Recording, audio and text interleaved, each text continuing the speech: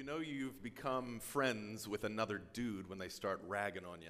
And so uh, I'm thankful for my, my friendship with your pastor, Matt. And I actually, for 15 years, would just buzz this sucker and uh, noticed it started coming in gray and thought, eh, let's give it a shot, grow it out. And I call this shake what your daddy gave you. So that's what this is up here. Um, I'm so thankful to be here. I, I want to um, I, I want to take a second. She's sitting over in the dark I want to honor a lady that is here that I've known uh, for my entire life, who was a great member of our faith uh, family church. And uh, you guys have had the pleasure of being able to worship with her and know her as church family for the f- past few years. Miss Joanne Stewart is sitting all the way in the back there, and she's wait, yeah, she's super, she's, she's there. Uh, she has been a spiritual grandmother to me, and her husband, her late husband, Doug Stewart, is one of my heroes in the faith. And so if you do not know Miss Joanne, don't leave here before you get a chance to meet her. She is a spectacular lady. So I'm glad you're here, Miss Joanne. I'm, I'm, super thankful to be here with your church family. And uh, it is a, it's a pleasure, man. Uh, so I've, I've heard so much about ACC over the years. I've been here a, a long time in Glen Burnie. In fact, I saw a few movies in this place when I was a kid.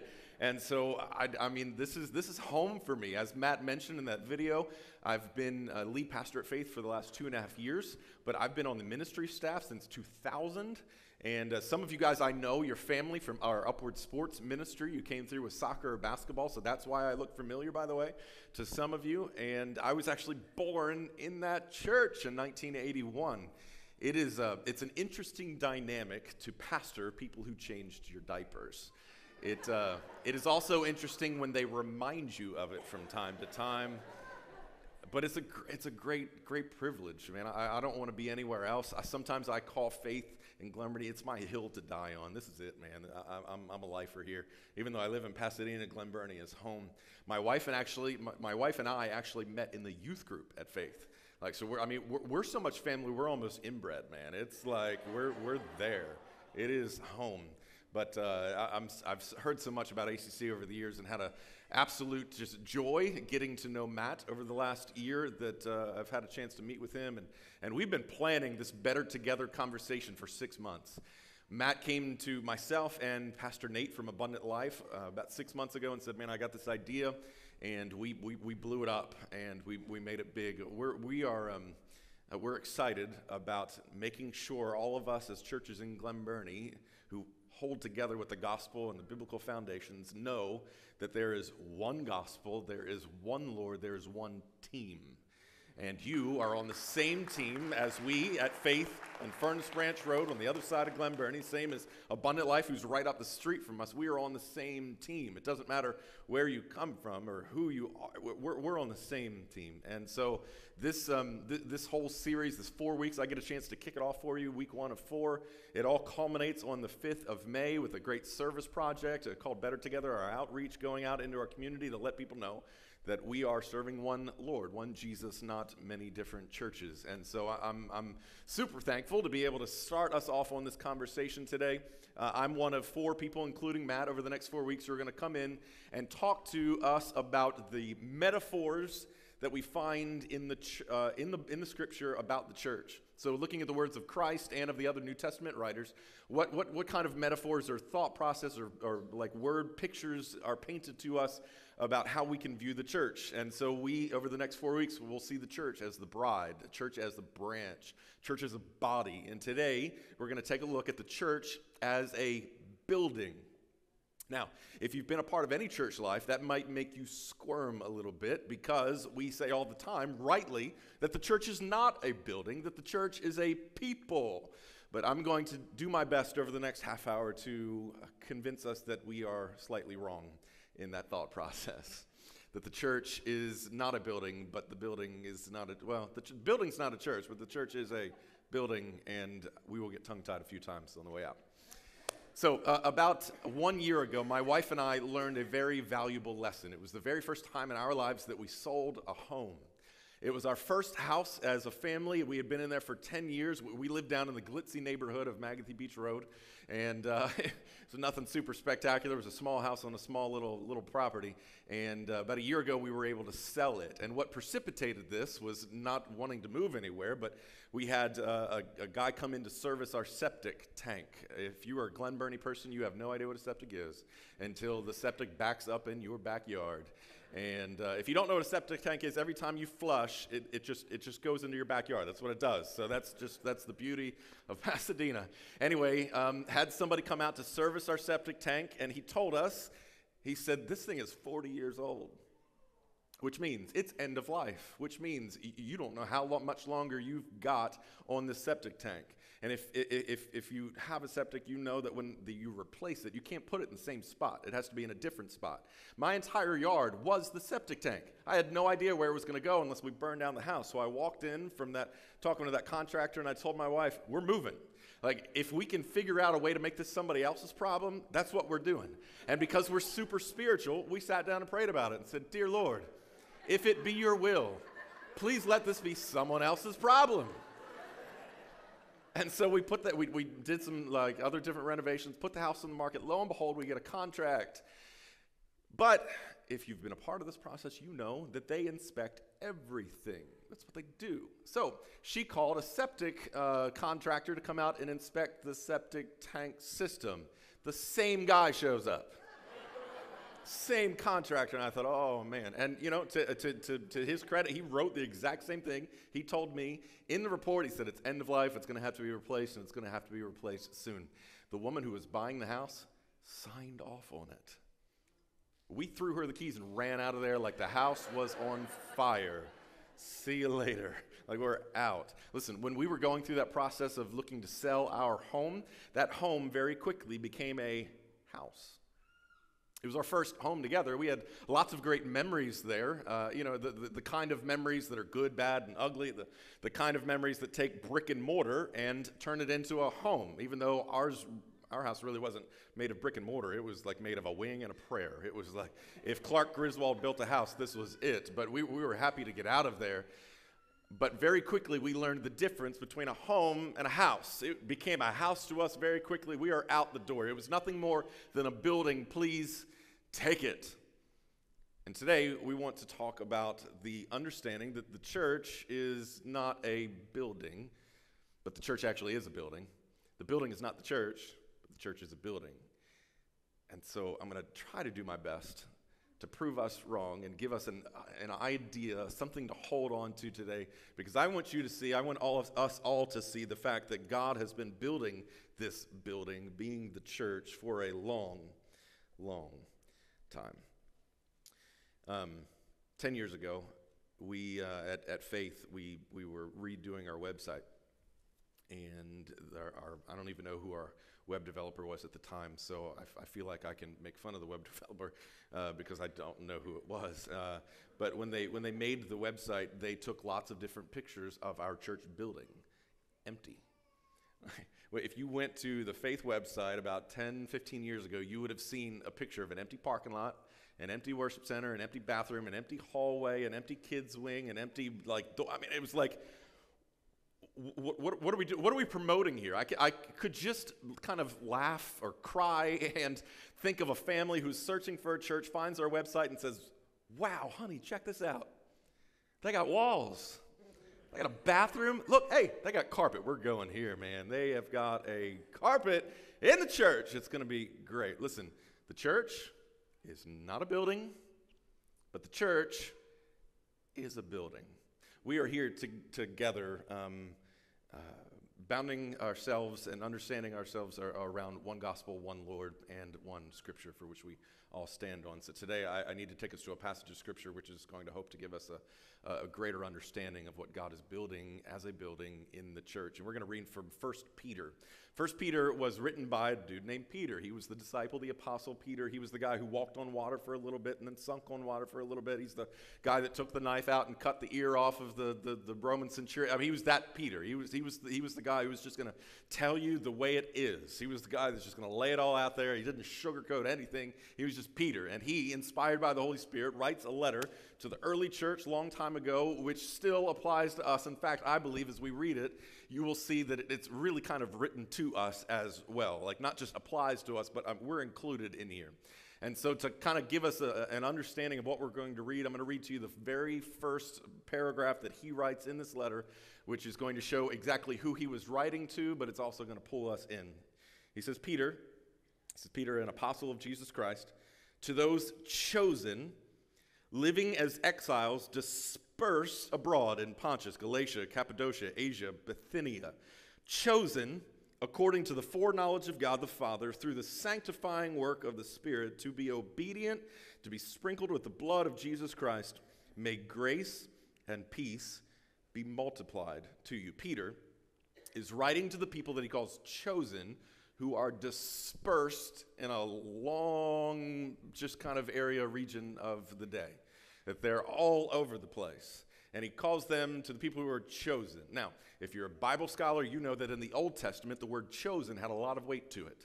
It meant that you were born into the Hebrew family, into the Jewish household. You were born into the nation of Israel. You were, you were part of the chosen people, where Yahweh was your God and you were his people. You were chosen. That's who you were. But in the New Testament, of which we're reading today, chosen has a different understanding.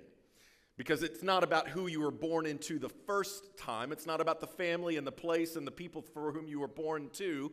It's where you were born in the Spirit, as Jesus talks to the, the, um, the Pharisee Nicodemus in John chapter 3. Jesus says that you must be born again, meaning it doesn't matter where you come from, who your parents are, it doesn't matter what side of the tracks you were, what side of Glen Burnie, or if you lived in swanky Pasadena. It doesn't matter where you were born in that family or where anything was or how it was. It matters how you were born into the Spirit. And when you were born into the Spirit, you were chosen, you were adopted as a son, as a daughter of Almighty God. So, Peter's writing to the people who are chosen, who are spread all over the place, meaning it doesn't matter whether you're in Asia, you're in Bithynia, you're in uh, all of these different places that are hard to pronounce. It doesn't matter whether you're at ACC on Aquahart Road or whether you're at Faith Baptist Church on Furnace Branch Road. It doesn't matter where you are or where you started. It matters are you a follower of Christ. And if you are, this applies to us. You may be dispersed, you may be spread out, but if you find yourself among the chosen, then Peter's about to lay down some law for us. Peter, the guy that hardly thought before he spoke, is about to lay down some, some, some, some words for us and is just going to kind of make it real plain. So skip over one chapter in chapter 2, starting in verse 1. He says, Therefore, Rid yourselves of all malice, all deceit, all hypocrisy, all envy, and all slander. Uh, just, just uh, can we focus on that for just a second? All malice, all deceit, hypocrisy, envy, and all slander. Could you imagine if any of our churches could get that right? How different it would be. If we could just get just one verse right. Paul Peter just got done in the chapter previous talking about how God has freed us to live holy. He's freed us to, to, to live in his righteousness. And then he comes back with one quick little quip and he says, Stop enslaving yourselves to your previous life. Get rid of all of that. You've been freed to live holy, you've been freed to live righteous. So stop going back to that nonsense.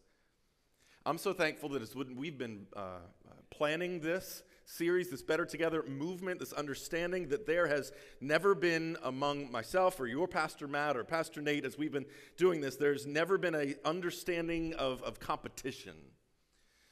There's never been a us versus them or hey man we're doing this better than you or you're doing this better than me. There's there's never been a hey you're winning we're losing you're you're uh, winning we're losing we're losing you're winning. There's there's never been this this this kind of bowing up measuring stick, kind of man ego kind of thing.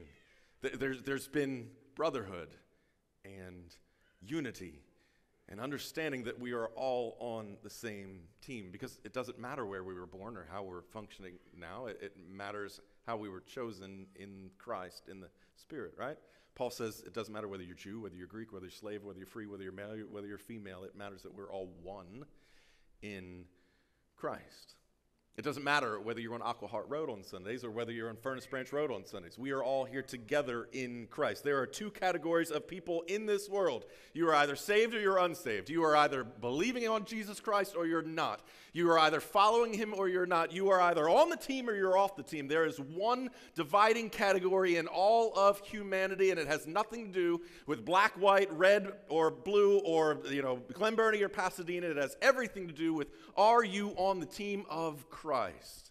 And if you are, my brothers and sisters, my fellowship of the saints, even though I'm not here with you every single Sunday, even though you're not with me every single Sunday, my brothers and sisters, you and I who are chosen, this is for us. So let's put aside all of the envy and the hypocrisy and the deceit and the competition that is between churches. I, I, will repent in front of you that not recently, but you know, just growing up in church life, there was a, a mentality within me from just kind of, you know, I, I feel better than some other churches. And, and, and that church is not really doing all that well, and we're doing pretty well. And that church is well, oh, that church is doing really, really well. I wish we were doing really, really well too. Let's put aside all of the competition, realize we're all in need of joining the team to promote the gospel. Why? Because our community needs us to stop fighting and warring against each other. Our community needs unity in the gospel so that they can hear what is true and what is right. Let's, let's, let's, let's sit on that verse this week as you are moving in your daily life. He continues in verse 2. He says this Like newborn infants, Desire the pure milk of the word, so that you may grow up into your salvation. Desire the word like pure milk, like an infant does milk, so that you might grow up in salvation. If you've had the opportunity to have children and nurse those children, you know that they cry when they want to be fed. They cry when they want milk. It's not because they're trying to be difficult, it's because they're trying to let you know, I need something. I need sustenance. I need to be fed. I need it. When's the last time you have metaphorically cried because you have absolutely desired the Word of God? Or are you like too many Christians who you could go days without spending any time in the Word of God and feeling any loss? When is the last time you desired to grow up in your salvation? with the men and women and the brothers and sisters around you? When is the last time it has been an absolute need for you? Or are you like way too many Christians where you, you can go one week, two week, three weeks, a month ah, before you come back to church and fellowship with the communion of the saints without feeling a loss? Peter continues in verse 3. He says, If you have tasted and you've seen that the Lord is good, then you'll understand. When you understand that Christ is not just the great, you know, some, some great hope of the world. But he is the only hope of the world. When you understand the only way for you to live with power is to be plugged into the outlet, when you understand the only way for you to grow is to be able to feast on the word that God has given you, when you when we can understand that together, then let's grow together. So Peter starts off this chapter by saying, Look, hey, you guys were enslaved to a bunch of nonsense before, so stop going back to it. In the meantime, know that everything that you need, like milk for a baby, is found in Christ alone. So take it, grab it, grow with it, use it, enjoy it. And he says, Here is why. Here's why. And we're going to read verses 4 through 10, and I want you to see what God is building. As you come to him, who's Jesus, who is a living stone, rejected by people but chosen and honored by God, you yourselves, as living stones, a spiritual house, are being built into a holy priesthood to offer spiritual sacrifices acceptable to God through Jesus Christ. Continue reading. For it stands in Scripture See, I lay a stone in Zion, a chosen and an honored cornerstone. And the one who believes in him will never be put to shame. So honor will come to you who believe, but for the unbelieving, the stone that the builders rejected, this one has become the cornerstone, and it's a stone that they stumble over, a rock that they trip over. They stumble because they disobey the word, and they were destined for this. But you, but we, are a chosen race, a royal priesthood, a holy nation, a people for his possession, so that you and I may proclaim the praises of the one, the God who called you and I out of darkness into his marvelous light. For once you and I, we were not a people, but now you and I, we are God's people. You and I had not received mercy at one point in time, but now you and I, we have received mercy. We come together, all of us. Did you see it in verse 4 and 5, by the way? I'm going to back up and read it to you again. Here's, here's, here's why we, we enjoy the freedom of righteousness and holy living. Here's why we join together, we crave after God, and we grow together. Here's why we do all of it. As for, excuse me, as you come to Him, verse 4, Jesus, a living stone, who was rejected by people, but chosen and honored by God, you yourselves, we, we are living stones, a spiritual house, are being built by, uh, into a holy priesthood to offer spiritual sacrifices that are acceptable to God through Jesus Christ. That we ourselves are living stones. We're living stones being built into a spiritual house to offer sacrifices. We, the church, are a building being built by God Himself, that we are all stones being put together in the same building for the same plan, for the same purpose, for the glory of God. We all dispersed across Glen Burnie and Asia, we are all living stones being brought together for the glory of God. Back in 2015, my wife and I had the great privilege of going on a vacation to Europe and we spent four days in Rome.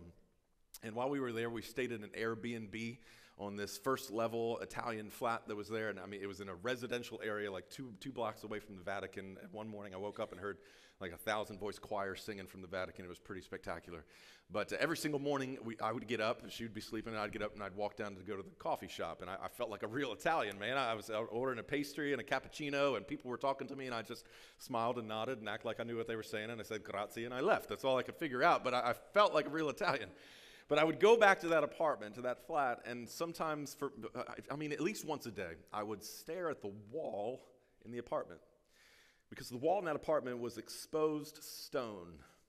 I mean, it was like the least child friendly place in the world. I mean, it was sharp, it was hard, it was rough, it was exposed stone, and the mortar was not like a, like a, a real nice, uh, just pretty mortar. It was the kind that like just spilled outside of the stones that were there. And I, I remember the word that the owner of the, the, the house, um, the building, the, the apartment told us when we checked in for the Airbnb. I remember her telling me that this building was more than 500 years old. And I, and I remember looking at the, I mean, the original stone, this original wall that's been there for half a millennia, and thinking, this wall is older than pretty much everything back home. Like the United States of America, this wall has been standing here longer. Now, some of the, uh, the, the, the floors that were above us had been built in previous generations and uh, you know had kind of been built on another but that wall that we had in our apartment on floor one was been there for 500 years standing strong and resolute and had been built on over the generations and over the years standing on that same wall all connected through the mortar in between. And peter's saying that's what we are. That's what we are. That we are all living stones being built together in a spiritual house all connected, all of us connected, meaning Faith Baptist Church on Furnace Branch Road, Abundant Life Church on Furnace Branch Road, and ACC here on Aquahart Road, connected together in what God is doing, being built together as living stones in a spiritual house. All of us connected. Glen Burnie, the church of, connected in together with what God is doing. And it's not just here people across the world. We've got mission churches in Chennai, India. Uh, Abundant Life, I know, is doing work in Kenya and, and, and some in, in Cartagena, Colombia. All of the church, all over the world in 2018, connected together with what God is doing. Living stones being built together as a building, as a spiritual house. And it's not just what God is doing now. All of the men and the women and the great saints that have gone before us, all who have paved the way I think of men like Billy Graham or Martin Luther King Jr. or Adoniram Judson, these great missionaries that have gone before, John Wesley, Martin Luther, men and women of the Reformation, these people who have gone before us that God has connected us in with. We are connected with them. We're connected with Matthew, Mark, Luke, John, Peter, and Paul. And what God is doing, they are living stones. We are living stones, being built together in the same spiritual house for the glory of God. We're connected in with Mary, the mother of Christ, with, uh, with Joseph, his stepfather, with John the Baptist, connected in with them. We're connected in with the Old Testament prophets. Think of Jeremiah, and Nehemiah, and Job, and Isaiah, and these men who We're connected in with them. We're connected in with Solomon and David and the kings of Israel. We're connected in with, uh, with Moses and Aaron and Joshua and the men who took the nation of Israel into the promised land. We're connected in with Abraham and Isaac and Jacob and all that God has built and been doing for millennia. We are connected in with them as living stones, even now in 2018, being built into a spiritual house, all under the plan of God, the purpose of God, the power of God, and all of us are being held up by a cornerstone of truth a cornerstone of grace, a cornerstone of strength, that same cornerstone that the foolish have rejected, but those of us who are humble enough to realize we need a Savior like we need milk. We stand on the cornerstone that is Jesus, holding us resolute, holding us strong through the generations that since the beginning of time, all of the men and women who have had faith in God and God has counted to them the righteousness that He imputes, we are all being built together in the same spiritual house. The building is not the church, but the church is most definitely a building for which God is doing amazing work through, giving us an opportunity to join across the generations for His glory. And the building that He is putting together has different walls and sections. That's just what a building is. And the minute one wall says to the other wall, we're more important than you. The minute one wall says to the other wall, we've got better things going on. The minute one wall says to the other wall, hey, you guys don't, you, you don't really know what you're doing, and we're a whole lot better than you over here. And the minute that the lower walls, the walls that have been there, and the orthodoxy of our Christian faith, and the men and women who have gone before, gets built on by some of the newer generation of 2018, and the minute the 2018 generation say to the people of orthodoxy and tradition that you have no idea what you were talking about, and the minute that the older generation says to the new, you guys are idiots and you have no idea what you're talking about, is the minute the building is on shaky ground. And that is when Humpty Dumpty is not going to be the only one falling off the wall. That's when the wall itself is going to have a great fall because Christ himself said a kingdom divided against itself cannot stand. And you and I have been doing a horrible job, all of us, at keeping unity within the church. We've been creating divisive, dividing walls that just don't make any sense. And the fact of the matter, there is one team. There is one Lord. There is one baptism that brings us all together. And we, as a people, must do our best to bring together the kingdom which will stand in his strength. So what? So what? I mean, we, we can talk in big general terms like this as a church and say, hey, well, you, you, guys are connected with faith, and faith is connected with you, and we've been connected through the generations. And, and so, so what? what? What what do you do personally? Two thoughts that you can hold on to today. Number one, as a living stone, allow yourself to be placed in the wall. Allow yourself to be placed. Because God our Father is not just a uh, potter that shapes us, He is a mason who places us. He is the one who says, I have a purpose and a plan, and I birthed you in this generation and in this town for this reason. So allow yourself to be placed in the wall. Allow yourself to be built into the household of God because a brick does no good when it's just sitting in the pile. So, you as a living stone come together and be a part of the household of God. In addition, don't just be one who visits the house of God, but be built into the house of God. Um, so it's easier for me to say this here than it is for my church in Furnace Branch Road. Some of you do nothing here more than show up on a Sunday and leave. You are visiting the house of God, not being built into it, which means you're a useless brick in the pile.